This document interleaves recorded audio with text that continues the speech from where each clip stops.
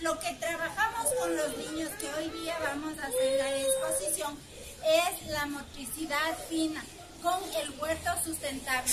Vamos a exponerles y vamos a explicarles con las manitos de nuestros alumnos y nuestras alumnas.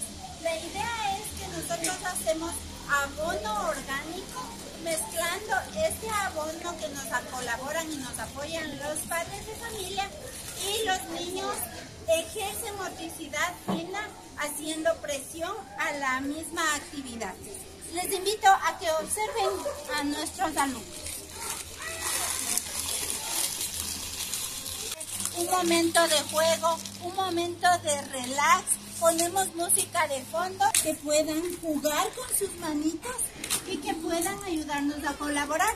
Después, el niño en otro proceso está colocando la tierra mezclada en las maceteras. Y para tener una, unas plantas ornamentales de nuestro instituto. Es cuanto puedo comentarles. Muy bien y bienvenidos sean a nuestra casa abierta.